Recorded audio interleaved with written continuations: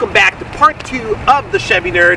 We're going to talk about the interior, quirks and features about the new 2022 Chevrolet Colorado. Stay tuned for this episode of the Chevy Nerd. All right, guys, let's go ahead and take a look at the inside of this bad boy. All right, as we walk up to the Colorado, obviously getting greeted to those nice black emblems from the outside. Enough about the outside, let's go inside though. So, as we get greeted in, we're going to see a two-tone combination uh, when it comes to the blacks and grays that we typically pick through General Motors. Um, very similar to last year's, actually nothing really different uh, once you kind of take a look at it, except that they've added some options to also add in the full leather upholstery versus the two-tone. Now that option has been available, but it's not very common. Uh, when it comes to this unit, we ordered it with the leather on there. You're going to see also power seats. Now pay attention on a couple of these. I did notice this. This was a little bit different last time. Um, there's different options in power seats. I believe from the 2017s to 18s, they didn't have a couple of these features I'm going to show you. But one of the things that they'll have, you're going to have your button forward, backward, and towards the back, you're going to have up, down, and this one was a new one. Maybe I missed it last time, but this one's gonna have that underneath knee support there too.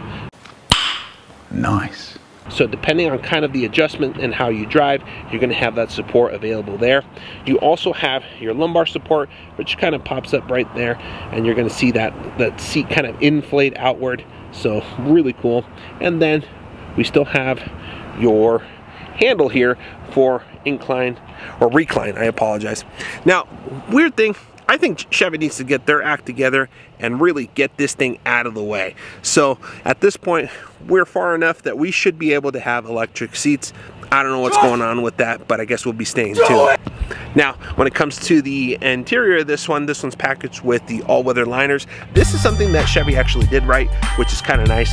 Uh, when it comes to these liners here, uh, instead of giving the business to WeatherTech, heck man, let's make it ourselves. One of the cool things that I like about them is that they have the emblems on there, which is really neat. Now, sorry for the lighting there. It's kind of dark in there, guys, so, but once again, going to the black and grays for the interior. Let's take a look at some of the features that they added. So, when we're looking at uh, the steering wheel, um, a couple things to pay attention here on the steering wheel.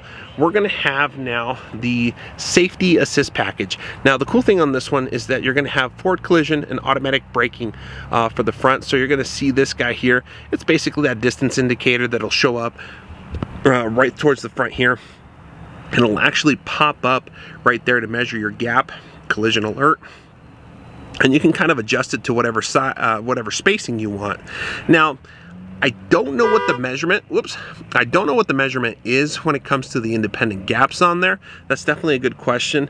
Uh, we'll definitely be figuring that out. But essentially, the closer you are is the closer you are to the person in front of you. So depending on how how soon you want it to alert you, that distance indicator, you can kind of measure it and adjust it to your preference or take it completely off.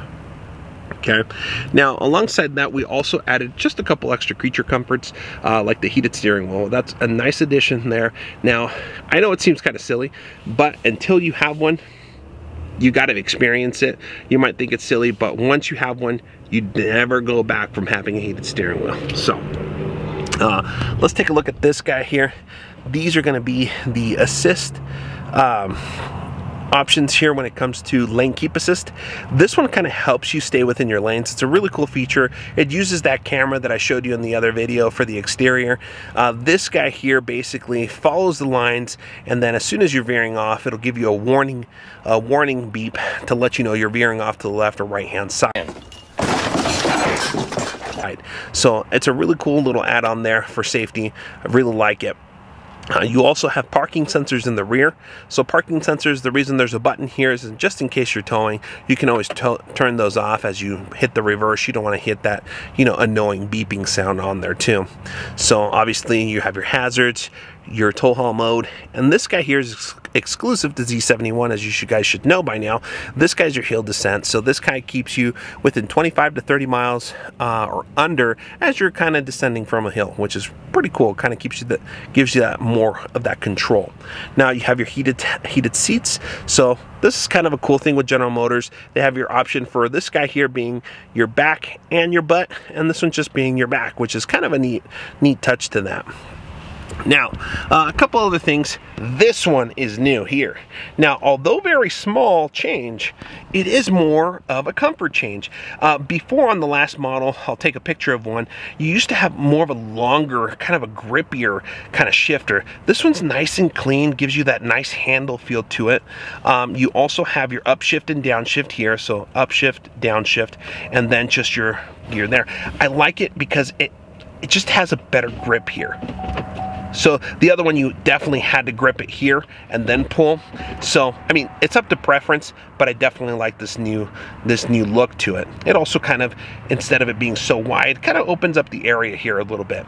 Now you'll have your Chevrolet emblem there, which is a nice little touch there, and then your leather right through there. The cool thing too is that it kind of gives you this new little look onto uh, the console here, I like this in comparison to some of the previous models had chrome. That kind of shines in your eyes sometimes, so that was a good fix there. I like it a lot. Two cup holders on there, and then you have two USB ports. Uh, let me get in there. So two USB ports and your 12 volt there. Really cool. Now, uh, you have your standard infotainment system. The infotainment here is the 3.0 through Chevrolet. One of the most user-friendly infotainment systems in the market. I don't care what you say. This thing is easy. It's simple. It's easy to connect your Bluetooth. It's easy to look at your, uh, at your audio. Everything is very self-explanatory, which is as it should be, because the last thing that you want to start figuring out as you're driving is an overly complicated system. This guy, thumbs up, does a really good job. Now, a couple things that they added to uh, between the 2000, I think it was the 20, the 19s and 20s, is this bad boy here, wireless charging. Awesome idea, awesome features. The only thing I just don't like about this guy here is that everybody has a laptop size phone. So not a lot of phones fit here. So a lot of the phones, like your standard iPhones, uh, let's see here, your iPhone 12s, iPhone 13s that are the smaller size, perfect, fits great. Now, wireless uh, AirPods and stuff like that, anything that would have wireless charging, boom, you can set it there and it's gonna charge.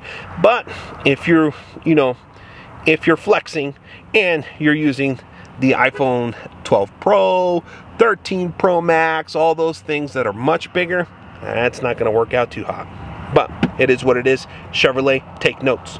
Stop it. Get some help. Now, you're gonna have your storage uh, components there. Nice and easy there.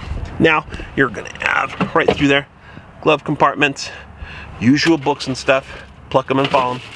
Throw them to the side. Nobody reads those, but you probably should. All right. Towards the back, you're gonna have quite a bit of space. So, sorry for that little uh, audio there. But, let's go take a look at the back seat. Ah. All right. Now, as you guys can see, that's how I was sitting. I was giving myself a little bit of space just for the camera. So, if I were to sit there being about six, I would probably sit right around there. So, let's take a look at the space in the back. I'm 6'1", and that still gives us plenty of decent space in the back here.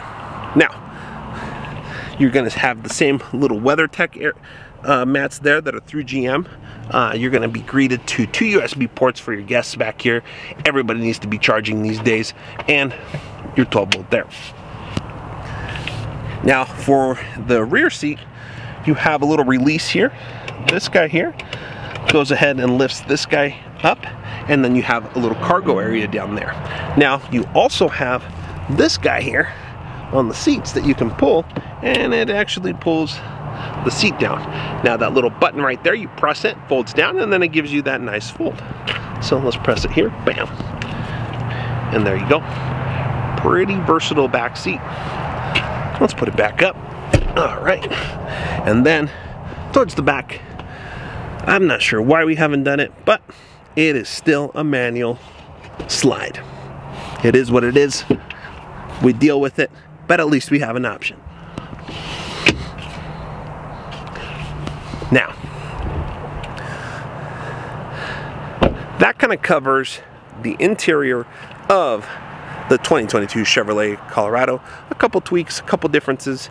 Um, I do know that when it comes to uh, major redesign, hopefully by 2023, 2024, we'll have a new re-updated model. But for the meantime, I think the face-up lip definitely makes it look nicer. Uh, some of the key things positioned here have been there all along for this for as long as we've had Colorados when it comes to 2015 and newer. So you're going to have your lighting, your four-wheel drive, your dash lighting there. Uh, your automatic climate control, which is nice. And then this one does include the remote start. So pretty cool stuff. Hopefully you guys have enjoyed this video. This brand new 2022. Come get it because these guys are not sitting too long. I'm lucky to be able to film this. Alright guys, hopefully you liked the video. I have fun doing these, so do me a big favor. If you like this video, go ahead and leave a thumbs up, okay? Make sure to go ahead and subscribe to stay tuned for more information, more news through the Chevy Nerd, and also go ahead and leave a comment behind. Ask me some questions. I'll be right there, right next to you, answering those right back. Well, probably not next to you, but I'll go ahead and write you back. All right, guys, thanks for tuning in to the Chevy Nerd. Stay out of trouble. We'll see you soon.